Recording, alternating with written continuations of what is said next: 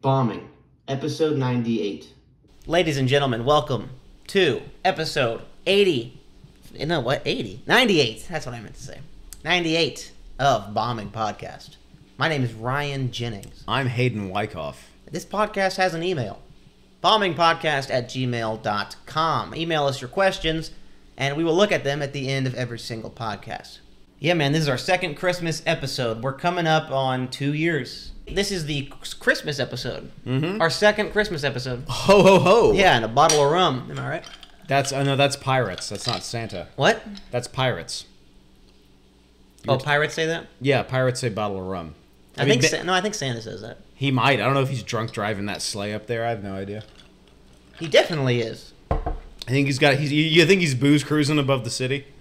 I mean, I would. Yeah, he's sipping rum and, and eating deer jerky. Uh huh. Oh, yeah. Probably probably made from like older reindeer because there's like Blitzen and Dasher and Comet and uh, John and Rudolph that the, Yeah. the famous one. Uh, but yeah, when the and deer Philip. I don't think Phillips. I mean, he may he may be one of the new ones, but I don't think Phillips one of the reindeer. What I'm saying I is, think he's one of the reindeer. when the reindeer die, they're hundred percent they get turned into like reindeer jerky. yeah, probably. So he probably snacks on that and drinks from a big bottle of Sailor Jerry's. You think he's a Sailor Jerry's guy? I mean, I don't know. He's uh, what what do they drink in the North Pole? Eggnog, Uh, he's probably an eggnog guy. Yeah, yeah, eggnog with room for schnapps or yeah, something. yeah. Oh, dude, he's definitely booze cruising up there though. You think Santa's ripping heaters up there on his sleigh? What cigarettes? Yeah. Maybe. I mean, you know, he's probably got a ZYN in. probably up there, mm, ho ho ho, or whatever he says, something like that. Yeah, yeah. You know, Yeah, is that all he says though? I mean, he probably says like other words. He really likes Christmas. Yeah. He like really likes Christmas. Dude, that guy Santa loves Christmas, dude. Why does he like Christmas so much? It's like his favorite thing. Santa's favorite favorite thing is Christmas, Yeah, man. dude.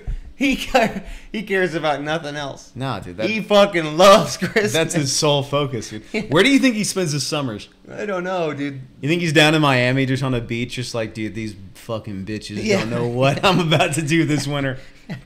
Just you wait, dude. Imagine the first Christmas. The first Christmas. The kids He- get the kids get downstairs. They're the like, fuck is all this? Whoa, dude, the fuck is this? And he he was just like, oh fuck yeah, dude, I did that shit. Man, I love doing this. Santa's a weird guy. yeah, kind of odd. You know what no one asks about? Hmm. Mrs. Claus. Oh, I heard Mrs. Claus got that thing on her. dude, did she have that thing? That's what I've what I've heard. Did she have that clap? I've heard she she got them fucking. Them cheeks. Dude. Yeah, sure. I've heard. I've heard she gives that fucking Where do you think Mr. and Mrs. Claus? head knock.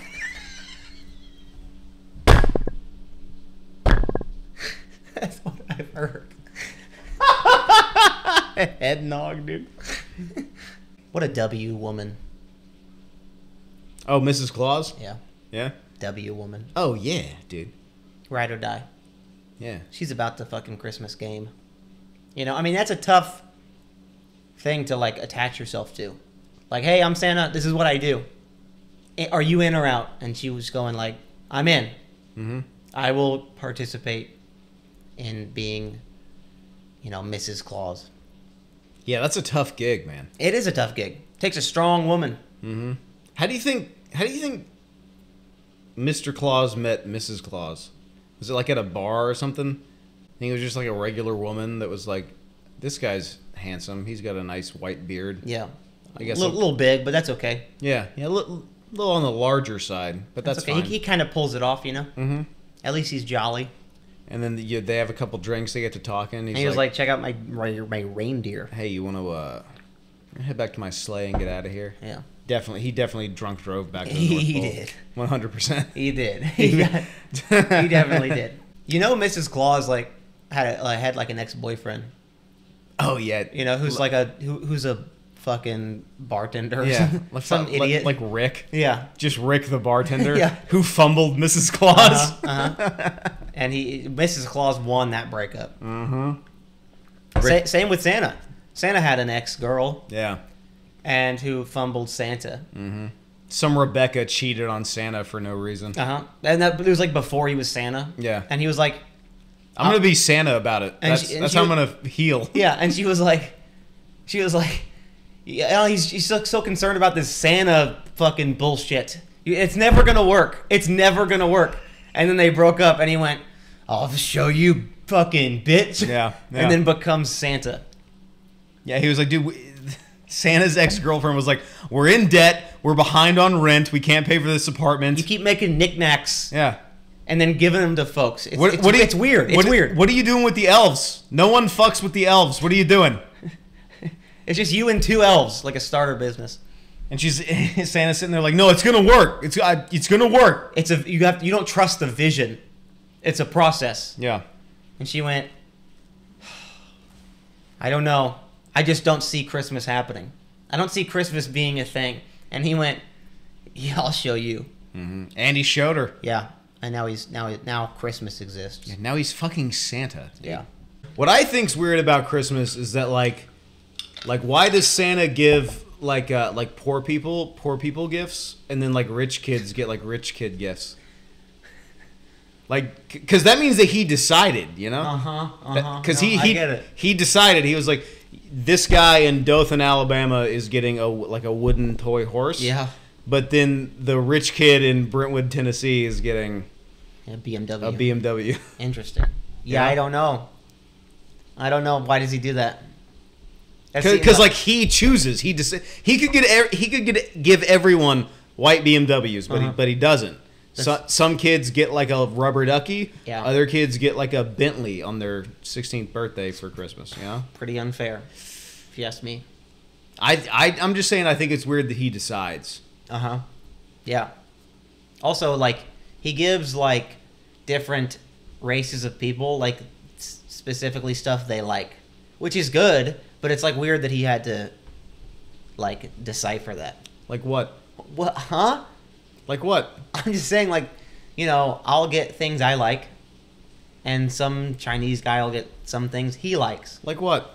I, well, I don't know. I'm I'm not a Chinese guy. Like what specifically would the Chinese guy get? I don't know a straw pointy hat or you know some chopsticks. I or I don't know. I just I have that's what my Chinese buddy told me. Your Chinese buddy. Yeah, yeah. And then my black buddy told me that for sometimes for Christmas, he gets.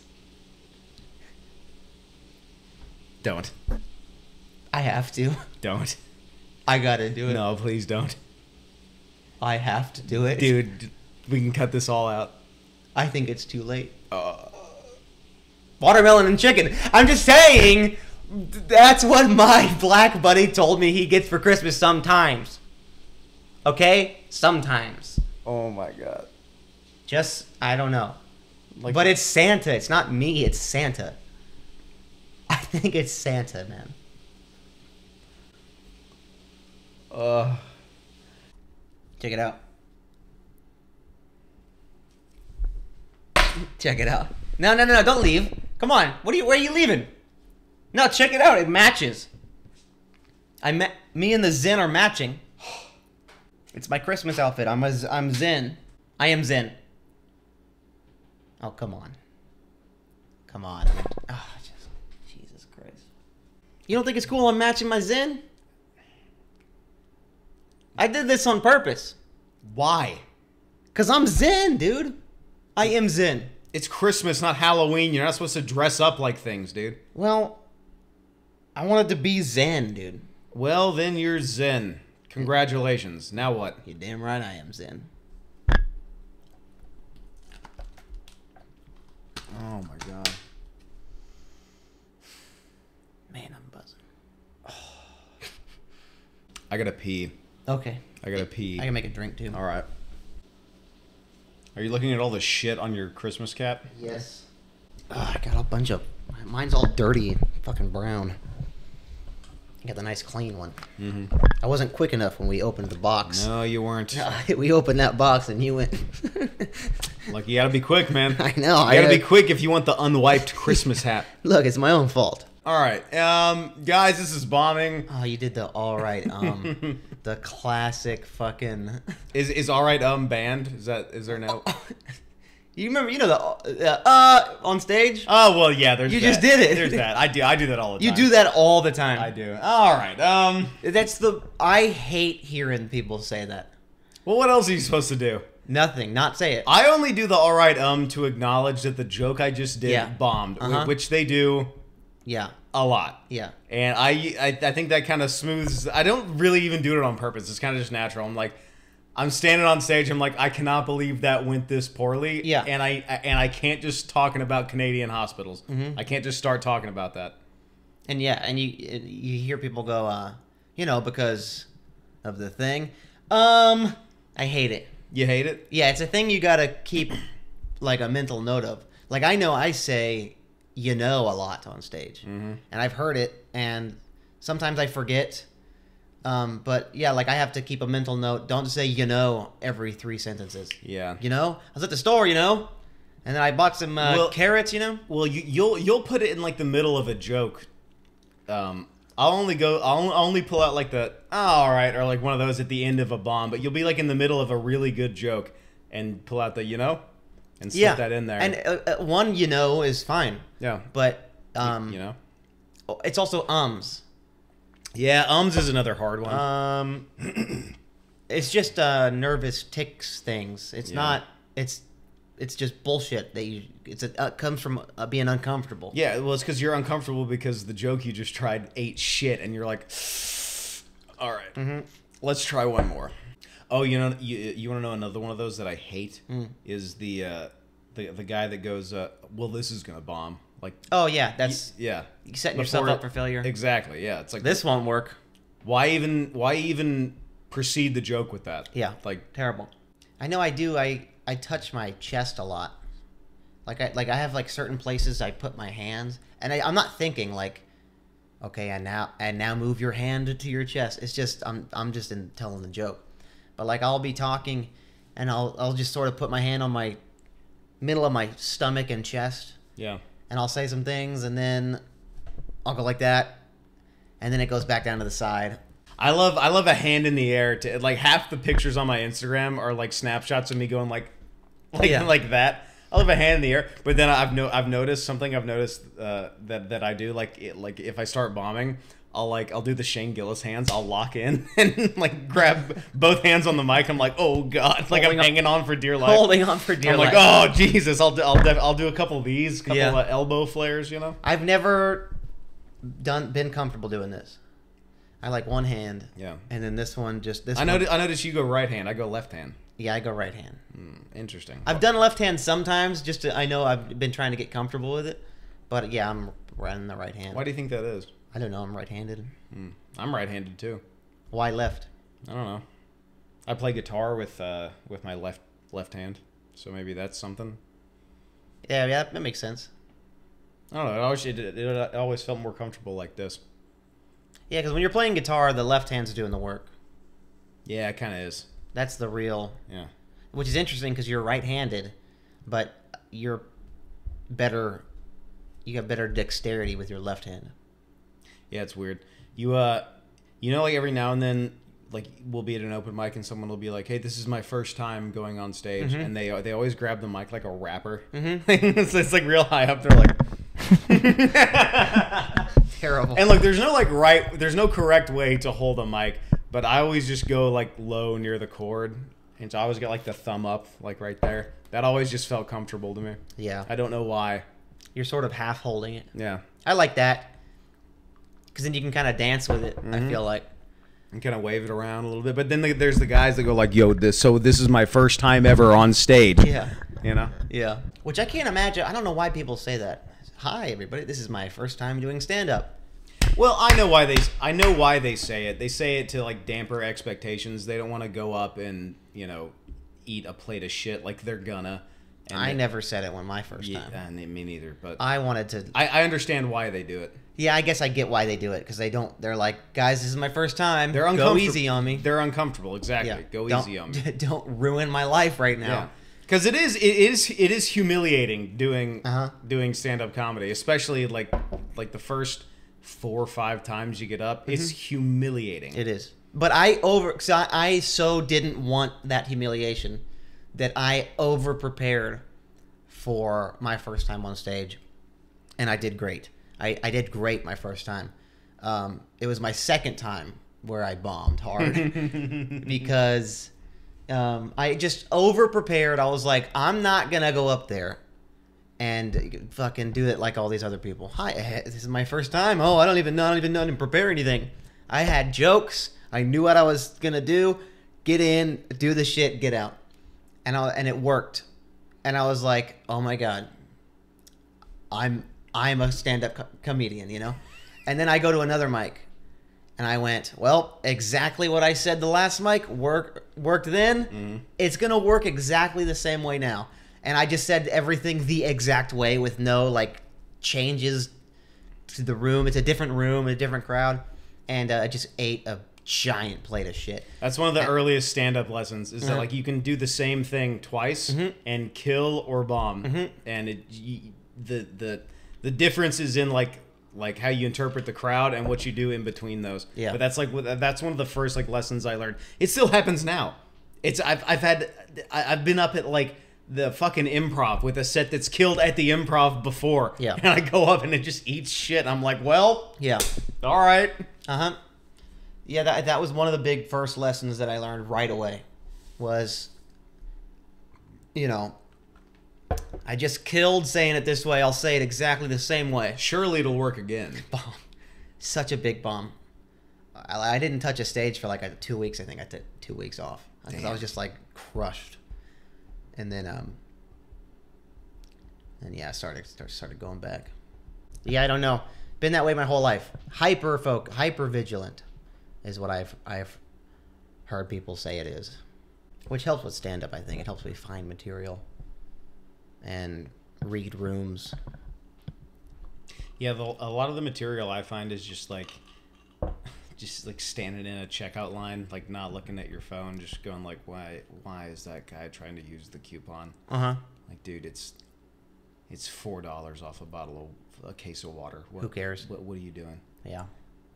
Dude, speaking of being in line, I was at the gas station uh, the other day and I had to I was just getting a Red Bull. So I go and grab the Red Bull. Just one Red Bull. And there's a dude in front of me who was buying 36 lottery tickets. Oh my god. And he was like, "Yeah, let me get the well, I don't know. I won't do the voice, but yeah, maybe, maybe, Yeah, I mean, you maybe don't do the voice, but, but you know, it's this- the it's the voice though. this just gentleman went uh, Yeah. hey man let me get let me get let me get i won't do the voice he, said let me get uh, three number threes and a f- uh, number four and uh, how much for the number seven and i was like just like a long day at work you know Mhm. i just need to get the red bull so I can Get home and into the day. in the day. I'm like still on, right? And then he, he like he hands him the first. He's like, "Let me get the number three. And then he's scratching it at the fucking thing. And like while he the other cash register guy's getting the other ones, and he's scratching, and he like no fucking sense of social awareness. no courtesy. no fucking No anything. care for the people around him. I cannot fucking stand those people. I was behind him. There was a dude behind me, and I look at this dude like behind me, and he's like, and I'm just like I, I just start looking around, and I do the, you know, dude looks back at me, the the lottery ticket man, and he keeps going, and then he gets the one where you fill out the numbers, you know, mm-hmm. and he's like, and just starts doing that, and I was just like. Just no regard for social norms. None. No courtesy. Nope. Nothing. And then like him and the the cash register guy like started like just they kept talking, and I I, I had this thought I was like, I should I, wanted to just say out loud I was like, what what if I just wa- I should just leave Yeah. I should just leave I'm here to buy a thing and you're not like you're not wanting me to buy this Yeah. I should just fucking steal this Yeah, that, that's what they're doing on Rodeo Drive. You Yeah. should, you should just do that with a Red Bull instead, Of a, instead of a 10 grand Balenciaga why not I was like I should just steal this Yeah. And then maybe if I said that, then they, they'd be like, "Oh, well, no, you gotta pay for that. Let me, Mm. let me pay for it." That that's that's the worst kind of human being. I, I I run into those people all the time. I had that the other day. Uh, I went to go uh, park at work, Mhm. and I I. I parked perfectly in my spot. You know how hard parking in Los Oh, Angeles no, is Yeah. and how all the spots are way too small, they're way too close together. I parked perfectly, Mm-hmm. and then this guy in a white BMW, just saying, Do the accent. I'm just saying, he pulled in next to me, parked way too close, and I watched this because he parked too close that I couldn't get out of of, of my car. So he like backed in, so I was waiting for him to get out of the car so I could get out and go back into work. And he goes out, slams the side of my car with his door, and then I'm I'm watching him in the, in the you know the side mirror. I'm like, what the fuck? Mm-hmm. And he slams my car door, and then he shuts it, and he looks around and he goes. Man, why is he parking so damn close to me? And then walks oblivious, oblivious, has no clue. I was, I was just like, I, I, I, sat there for like a solid 15 seconds with my jaw on the floor, like, no, wait, that was your fault, Uh-huh. though. That was that was you. And, And, there- then, there's and then nothing you could have done to to let him re- recognize here's that. the thing. I, th- I thought about rolling down the window, but then that kind of hit me. I was like, what's this guy's? He's a bot. He's a lost cause. He's He's, just a bot. He's gone. I I park perfectly. You park wrong. You open the door, slam it into my car, and then go. Man, why is he park? I'm not gonna do the accent. Man, why is he parked so close to me? Yeah. You know? Yeah. Yeah. Uh huh. like, fu- why, dude? I don't know. It's just no social awareness. I I don't get it. I run into those people every fucking day. and I was stuck behind this fucking lottery ticket buying guy, and I was like, "You're not gonna win the lottery." You know what I mean? You're not gonna win the fucking lottery. What are you Nobody wins the lottery. Yeah. And then it's oh, but someone wins it. No, they don't. But it's not you. yeah, it's never you. Dude. It's never you. it's not gonna be you. even Stop the it. even the people who are like, well, it was me. It wasn't you. you never win the lottery. And then oh. what if he fucking? oh what if he God. won though? He? then you can't be mad at him. Yeah, if he wins, I take back everything I've said. Yeah. but only if But he fucking when, wins. when when he does lose, Uh-huh. then just stay mad at him. yeah, thanks for wasting my fucking time. Yeah. Even if he won, congratulations, you blew all your fucking money in a second. Fucking piece of shit. Yeah, fuck that guy, dude. Fucking making me two minutes late to somewhere I didn't need to be. Man, we are all over the goddamn place today. I'm gonna tell you this. I'll tell you what. I'm I'm fine with a short and sweet Merry Christmas short podcast. I'm fine with that too, dog. I got nothing. I'm on vacation mode. Yeah, We- me too. Me too. We got a flight tomorrow morning back Yep. home to Nashville Yep. for Christmas. And I'm just I'm checked out to be honest. Listen, listen, viewers, you guys are getting the fucking scraps right now Mm-hmm. because we are on the verge of a grand vacation. I don't even feel bad. We've given you guys so much entertainment these past almost two years, two weeks away from two years. what do you guys want from us? Come what on. do you want? Are you not entertained? Bombing episode 98. Thank you guys so much for watching episode uh, 98. Tune in next week for episode 99. 99 problems, but the podcast ain't one. Fuck yeah, dude. That's right. Hell yeah, dude. Merry Christmas. Happy holidays. I hope you have a nice. I hope Santa doesn't give you a cold. That would suck. Good night.